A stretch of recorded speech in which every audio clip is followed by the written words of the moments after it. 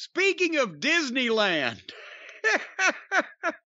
you double dog dared me to talk. I wasn't even going to mention this because it's just so preposterous. And what can you say to flesh it out otherwise than just laughing? But apparently, Joey Ryan, the king of dong style, that's what he was calling himself, right? He was the guy that said, oh, wrestling needs to evolve and adapt. And why are people offended by what I do? Because it's all entertainment and we're all in this together. And everybody should be allowed to participate and to play and to fulfill their art. And then later on, he after he was accused of all kinds of shit with all kinds of people from all kinds of people, then he said, "Oh golly, I was living like a rock star." I was I've had a I bought a big mansion out here in California on all this money I was making throwing people around wrestling rings with my dick. And I was living like a rock star and I was such a celebrity. He was such a celebrity, Brian. The, the demands on him and the the people coming to genuflect in his general direction and ask for his autograph and he was just so such a star, such a celebrity, such an icon in wrestling that it just it ran away with him mentally, and that's why he misbehaved and did all these things, and he was going to make himself a better person. That's the last we heard of him, right? Well, apparently, all the money that he made being this international celebrity and living like a rock star and people genuflecting in his general direction didn't last but about 18 months, and he may not have been as big a celebrity and a mainstream superstar as he thought he was because he got hired to work on one of the rides at Disneyland because they had no idea who the fuck he was. And they passed his back he passed his background check because they background checked him under his real legitimate legal given Christian name and not his Goofy Outlaw Mud Show wrestling name because he was such a big superstar and internationally known that they had no idea that he'd ever been a public figure before and he was just some schlub that wanted to run the fucking ride and wear the safari hat. And so he worked there for about three weeks until somebody, the one wrestling fan left in probably in Southern California that might recognize him, took a picture of him at the ride and it went viral for everybody laughing at here's Dick Boys running the ride at Disneyland. And the Disney people apologized and fired him.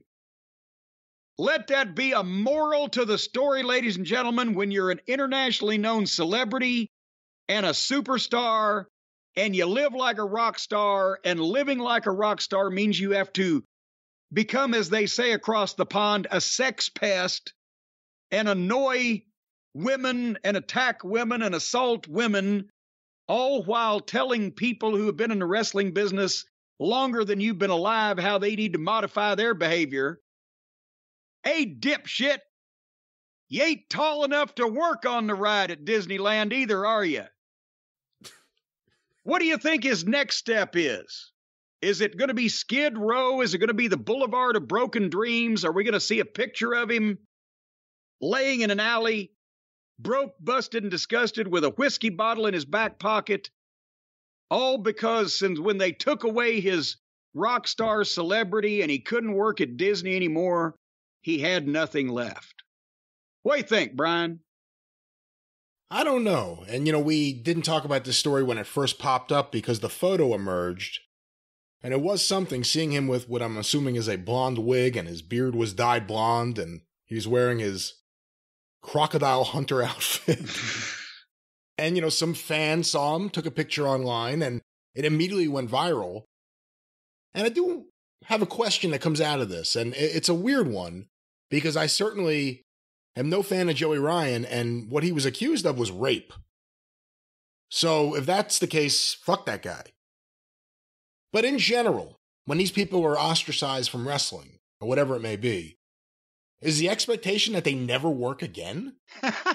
you know, maybe it's not idea- a good idea if you're someone who is accused of what he did and was so public probably not a good idea being out there in the public in front of people like that. But that's kind of the question. What kind of future, and it's not just Joey Ryan, there were other guys that were, that are now cast offs of the wrestling business, but they had fans. And it may be a few thousand, it may be more than that in some cases. They had fans. They had YouTube videos that did great numbers. People have seen them. They're going to be seen again.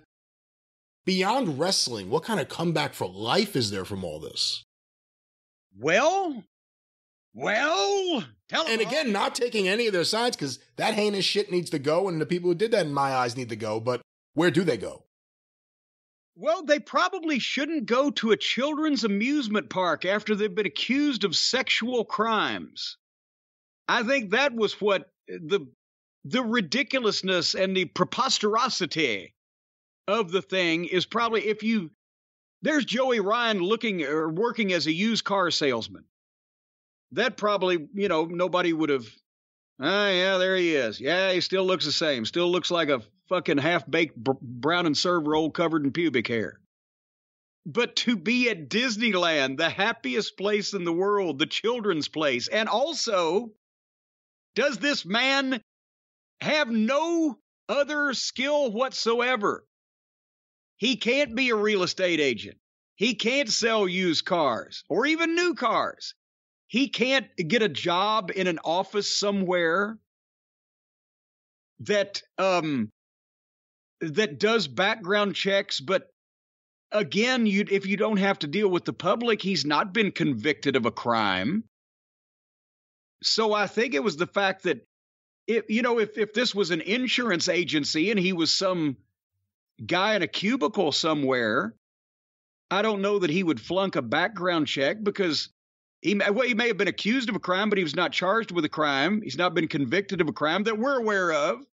I didn't run his rap sheet, but in this instance, I mean, but when you, uh, an amusement park where here's all the children, and here's this guy who used to fucking wear Speedos and make people grab his dick and throw them around by it that should have been a red flag that probably to him, maybe I shouldn't apply for this particular job.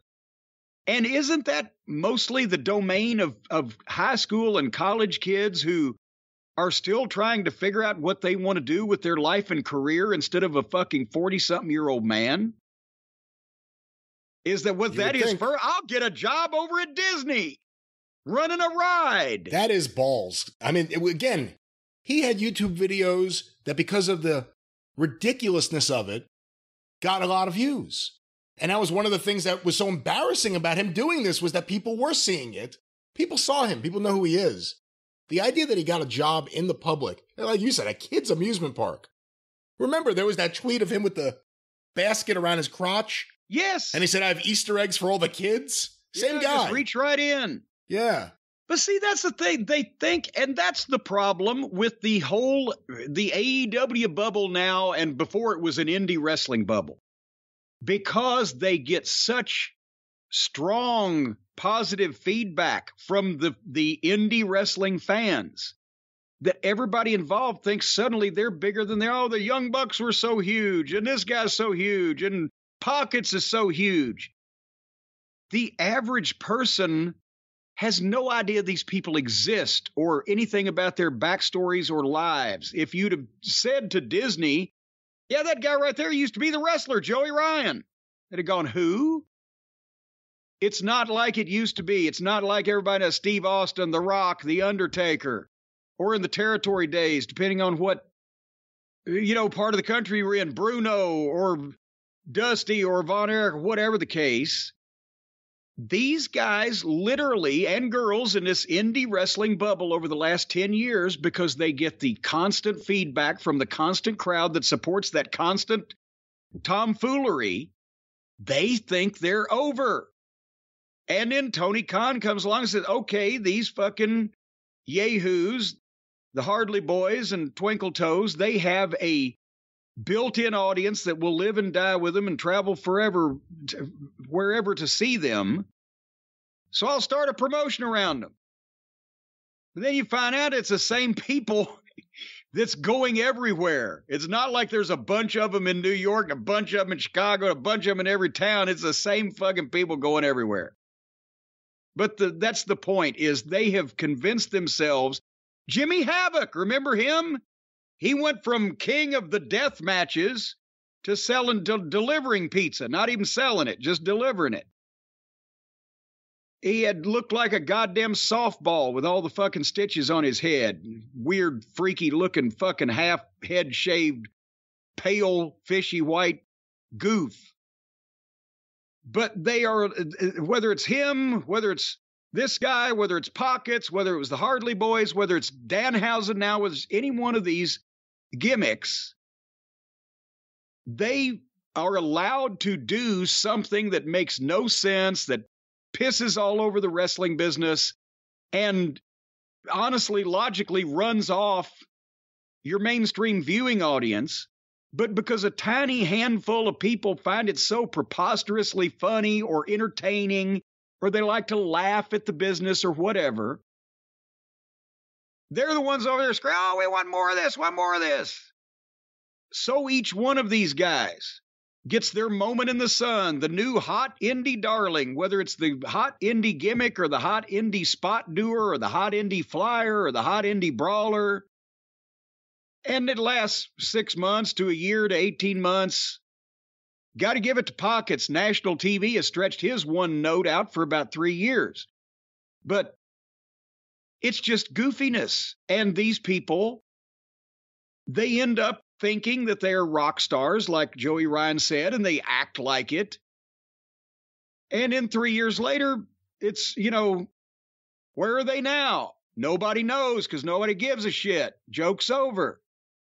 Yeah, you know, it's funny too, because everyone likes to pretend like the wrestling business is such a different animal today than it ever was before. They don't have the kind of dirt bags in it today that were there before. And you see, it's the same thing. In terms of the worst people, they're people that can only survive in the wrestling business and can't survive in any other industry or any other line of work. This is it. And there are still guys like that. And you mentioned two of them with Joey Ryan and Jimmy Havoc. Well, we're, we're going to talk about later on with uh, Greg Oliver, who, sh- who we should plug, is going to be on to talk about his blockbuster article on sportsillustrated.com just this week about Rocky Johnson. But you know, it, it's nothing changes because people people's basic human nature doesn't change. And there's always going to be people that are going to do stupid shit, and there's always going to be people that are going to do smart shit. Because there's always going to be stupid and smart people, generally more of the first than the second. And so just because there were more professional wrestlers in the territory days and in the old days than there are now, uh, everybody think, oh, it used to be such a horrible business, but like you said, now we've cleaned it up. No, it's just different kinds of dirt bags and probably fewer of them because there's fewer wrestlers overall by a large margin. But people don't change. You're always going to find brand new assholes. They just may not find jobs. They just may not find jobs. And golly gee, you know, if if Joey Ryan had had any talent for the wrestling business and tried to, well, I guess he did try to get over the right way, and he didn't because he didn't have any talent. And then that's when he decided to throw people around with his dick. And then he gets over for two years, and then everybody finds out he's an asshole, and now he's fired from Disneyland. Eh. But he wanted me to modify my behavior. You know what, Brian? I'm telling you right now, I think that I just had a good idea. What about if Joey Ryan was a used car salesman? But here's the problem Would you believe Joey Ryan if he told you something? Because he's a noted liar and prevaricator. And you got to be able to believe the salesman. So maybe, maybe Joey Ryan should be an auto mechanic. What do you think? That way, well, if you're under the car, no one sees you. Yeah, exactly. You're covered in the oil and the grease. You're under the car. They only see your feet. But you know what? Those auto mechanics, they're shady too because they'll overcharge you. You've heard this a million times. Auto mechanics and people with the auto parts stores, they want to overcharge. They want to jack the prices up. They want to soak you and bilk you. That's why it's always best, folks. If your car is broken down, if something's not working on your motorcycle or your boat or your unicycle or your helicopter, or even the, the Brian copter that you keep out back of Last Manor, if something's the matter, don't take it to a crooked repairman. Don't go to a crooked brick and mortar parts store. You got to do the work yourself. And it's so easy when you get all the parts from our friends at rockauto.com. You do not have to look at Joey Ryan laying prostrate on the floor in front of you, face up underneath your 69 Chevy. No, you don't. Because now you can be under that 69 Chevy. You can be face up, face down. You can take any fucking position you want to take with that 69 Chevy, but you're going to save money because you're doing the work yourself with the parts you got from rockauto.com. You if you repair and maintain your cars, you save money for important things like mortgage and food and tickets to Disneyland. Why in the world would you want to spend 30%, 50%, 100% more for the exact same auto part at a chain store or a new car dealership? Those new car le- dealerships, they are noted for jacking the prices up. You try to get a whammy bar on a Framistat, see how much it's going to cost you. But at rockauto.com, it's a family business. They've been serving auto parts customers online for 20 years. Brian, has there been an online for 20 years now? Oh, at least, yes, maybe 35 years or so. Well, then they got started late, didn't they? They only started 20 years ago because that's why they were trying to do it right. They took their time and they got their plans together. And we mentioned that rockauto.com is not a brick and mortar store. No, instead, it's a magical place on a South Sea island made all of glass and plastic. And they've got all the parts lined up there. And whether it's for your classic car or your daily driver, a few easy clicks will get everything you need and delivered directly to your door. And then once the mailman shows up with it, kick him in the nuts, take the package, slam the door in his face, and get to work. And put this part on your car or truck, and then drive out in the front yard and run that mailman over as he's getting up off the sidewalk. Go to rockauto.com right now and see all the parts available for your car or truck and write JCE in their How Did You Hear About Us box so they know we sent you because rockauto.com is just like Hulk Hogan's Beach Shop and Ron Howard. They want to know who's sending people to their door.